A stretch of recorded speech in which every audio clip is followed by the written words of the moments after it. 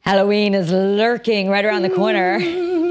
And while things might be a little bit different this year, it just means we have to get creative with how we celebrate and decorate. Martha Stewart Living senior editor Elyse Moody has some super cute and easy ways to make this Halloween one to remember. Take a look.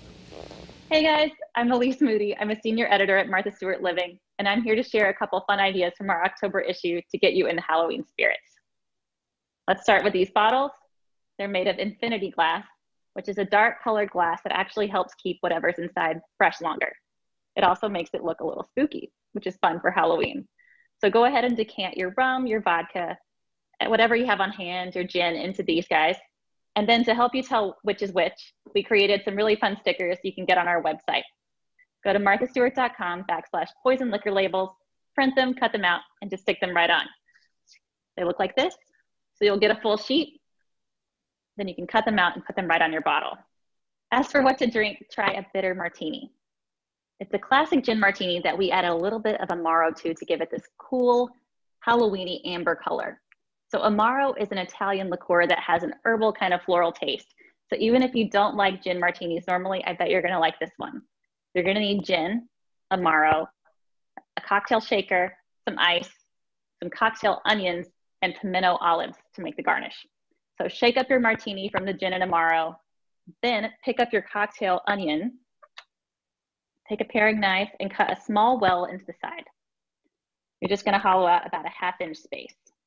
After you've done that, you're gonna cut off the tip of one of the pimento olives, just big enough to fit inside, and stuff it right in that hole.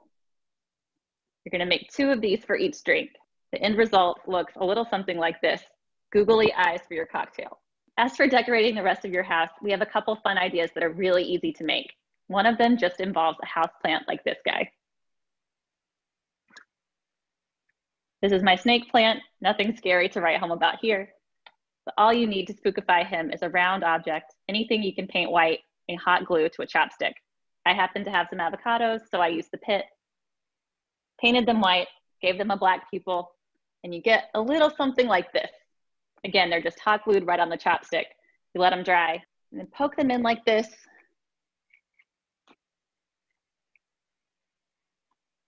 There we go. And then this guy is ready to keep watch all month long. If you wanna make a bigger version, say tuck some eyes in your fireplace, out in the garden, anywhere you wanna add a little spooky flair. You can use a dried gourd or a pumpkin, just paint them white the same way, add a black dot, and you're ready to go. Halloween night may be a little bit different this year, but kids are still gonna wanna dress up and they're still definitely gonna wanna have candy. So we wanted to create some fun ways to dress up their costumes a little bit too. And in our October issue, you're gonna find four really fun ideas for treat carriers that you can make at home from really simple materials that you already have on hand. The main ingredient is something I bet you have a lot of, I know I do. Plain cardboard boxes like this guy. We've got one for a kitty, one for a puppy, one for a shark. My favorite of the bunch is actually this one. It's a rainbow, so all you need to add is a gingham dress, ruby slippers, optional puppy, and your kid is ready to click her heels all the way down the street. For more fun Halloween ideas, pick up our October issue or go to our website, marthastewart.com. I'm Elyse Moody, Senior Editor for Martha Stewart Living, and I hope you have a great Halloween. Well, thank you, Elyse. Yeah, some cute, cute ideas there. Martha Stewart Living is published by the parent company of this television station, that is the Meredith Corporation. I did not know that. I did not know that we own. Local. You didn't know that? I did not know that. Yeah.